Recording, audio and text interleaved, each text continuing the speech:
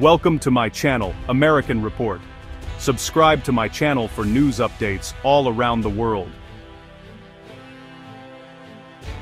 Let's dive into the world of the tiny tech that's become the center of a fierce global power struggle, semiconductor chips. These minuscule marvels, often no bigger than a fingernail, are the unsung heroes powering our modern lives and shaping the future of nations. These microbrains are everywhere, they run everything from your smartphone and laptop to your car's navigation system, smart refrigerators, and even the most advanced medical equipment. Without them, the digital world as we know it would grind to a halt. For decades, the United States held the upper hand in chip design and the sophisticated tools needed to manufacture them. American companies set the pace, and the world followed. But in 2022, everything changed. The US government slammed the door on China, cutting off access to the most advanced chips and the machines that make them. Washington's move was driven by fears that China's rapid advances in artificial intelligence and military technology could tip the global balance of power. By banning the sale of top-tier AI chips and the equipment to produce them, the US aimed to freeze China's technological progress in its tracks. The US bet big, believing China couldn't build this cutting-edge tech on its own. The restrictions didn't just target finished chips, but the entire global supply chain, from raw materials to the most advanced manufacturing tools. For a moment the strategy seemed to work. Chinese tech firms scrambled to find alternatives, supply lines snapped under pressure, and uncertainty rippled through China's booming tech sector. Panic and confusion set in as the world watched. The sanctions were designed to force China back to the negotiating table, humbled and ready to compromise. The message was clear, technological dominance would not be handed over easily. But instead of folding under pressure, China saw this as a declaration of technological war. The country doubled down, pouring resources into research, innovation, and homegrown chip development, determined to break free from foreign dependence and plot its own comeback. The stage was set for a high-stakes global tech showdown, one that would shape the future of innovation, economics, and power for years to come. China's answer to the blockade? Build everything itself. When the world's most advanced chips were suddenly out of reach, Beijing didn't hesitate. Instead, it doubled down on a bold vision to make China self-sufficient in the technologies that power the modern world. The message was clear, if China couldn't buy the best, it would learn to make its own, no matter the cost. The government poured hundreds of billions into its chip industry, launching a national drive for domestic substitution. This wasn't just about money, and it was about mobilizing the entire country, from state-owned giants to scrappy startups to close the technology gap. Every yuan spent was an investment in China's future independence. Chip making became a matter of national security, with massive subsidies and a gold rush of new companies, Ambitious entrepreneurs and engineers rushed to answer the call, founding startups and research labs at a record pace. The government support turned the chip sector into a battlefield for innovation and survival. China set out to replicate the entire supply chain, from chemicals to software, within its borders. Every link in the chain, no matter how small, became a strategic priority. The goal, to ensure that no foreign power could ever choke off China's technological ambitions again. The learning curve was brutal, but Beijing played the long game. Even if its chips were slower they were available, and sanction-proof. Mistakes were made, and setbacks were frequent, but each failure was a lesson.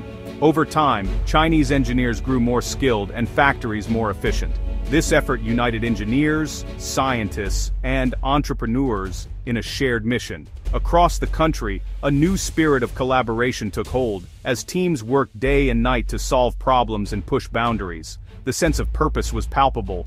China transformed from the world's factory to a tech innovator, determined to break free from Western dependence. The country's industrial landscape began to shift, with more focus on research, development, and homegrown breakthroughs. The gamble was huge, but the alternative, permanent technological subordination, was unthinkable. For China, the stakes were nothing less than its future as a global power. Every chip produced was a step toward independence. The race for self-reliance was on, and the world was watching to see if China could pull off the impossible. Enter Huawei, the company the US tried to bury. Cut off from Google and advanced chips, Huawei should have faded away. Instead it doubled down on R&D, creating its own high-end processors, like the Ascend 910C. Produced by SMIC on a 7nm process, the Ascend chip now rivals NVIDIA's China-only models. Huawei's workaround? Massive clusters of domestic chips, networked to match the power of fewer superior US chips. This brute force approach turned a hardware weakness into a systems engineering win. Huawei became the backbone of China's AI ecosystem, offering hardware, networking, and software, all homegrown. Now, Chinese tech giants have a real, sanction-proof alternative. Huawei didn't just survive, it became the fortress of China's tech ambitions. Here's where the US plan backfired. Sanctions were meant to protect American firms, but Nvidia's China market share crashed from 95% to 50%. Banning US chips created a vacuum, Chinese firms like Huawei rushed in, and desperate customers gave them a shot.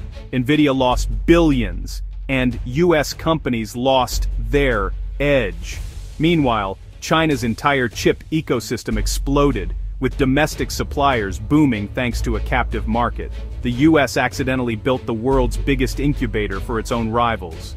Instead of hobbling China, sanctions fueled its rise and cost American firms dearly. The intended checkmate became a catalyst for China's tech surge. The lesson, never underestimate a determined competitor. The numbers tell the story.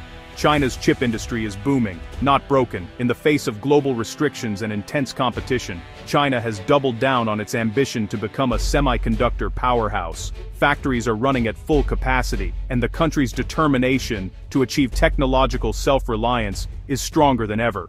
By 2024, sales topped $200 billion, with domestic chip production jumping from 13% to 50% in just over a decade. This explosive growth is not just about numbers, it's about a nation transforming its technological landscape, investing heavily in research, development, and manufacturing infrastructure. Projections show Chinese AI chips will soon dominate their home market, overtaking foreign giants. These chips are powering everything from smartphones to supercomputers, and are increasingly being adopted by local tech giants and startups alike. Chinese firms are climbing global rankings. Huawei's HiSilicon, SMIC, and Hua now sit among the world's top players. These companies are not only innovating, but also setting new standards for efficiency and scale in the industry. In assembly and testing, Chinese companies hold four of the top seven spots worldwide. Their expertise in mass production and quality control is helping them outpace many established competitors. China is building a vertically integrated world-class chip industry at record speed. New plants are springing up across the country, creating thousands of high-tech jobs and fostering a new generation of engineers and scientists. While still a few years behind the cutting edge, it's closing the gap fast. Chinese engineers are rapidly innovating, learning from global leaders, and pushing the boundaries of what's possible in chip design and manufacturing. Massive investment and a huge domestic market are fueling a self-sustaining cycle of growth. Government support, private capital, and a tech-savvy population are all driving demand and innovation, making China a formidable force in the global chip race. The global balance of chip power is shifting. Fast. As China's influence grows, the world is watching closely, recognizing that the future of technology may well be shaped in Chinese labs and factories. The gamble is paying off. China's semiconductor surge is not just a story of growth, it's a glimpse into the next era of global technology leadership. By 2025, Washington realized the chokehold had backfired, US firms were bleeding, China was thriving. The US reversed course letting Nvidia sell downgraded chips to China, but took a 15% cut. China's response? Buy up Nvidia's chips for now. Tencent and ByteDance ordered hundreds of thousands. Nvidia's hardware and software are still best for some tasks, so China's tech giants pounced, but Beijing quickly reminded everyone, don't get comfortable. Officials summoned Nvidia, raised security concerns, and urged firms to prioritize domestic chips. China's strategy, use US tech while it's useful, but double down on self-reliance. It's a pragmatic sprint, buy now, build for tomorrow. The message, Thanks for the chips. But we're making you obsolete. China's brute force chip strategy works but it's not cheap. clusters of domestic chips use far more power than efficient US systems. China's solution?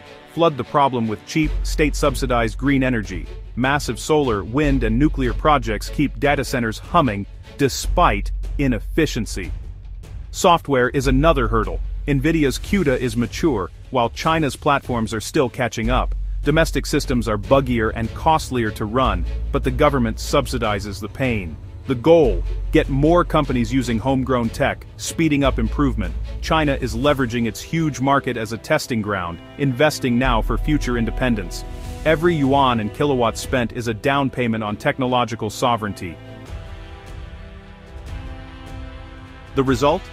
A fractured tech world, two parallel, incompatible ecosystems. The US-led sphere, with Nvidia and Intel, dominates the West. China's bloc, led by Huawei and SMIC, is rising fast, especially in the global south.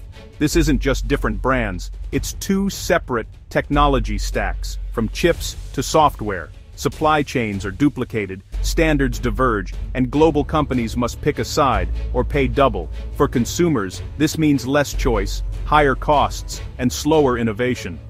The era of seamless global tech is over. Welcome to the age of strategic decoupling. The tech Cold War will shape alliances, dependencies, and fault lines for decades. We're all living in the beta test of a divided digital world.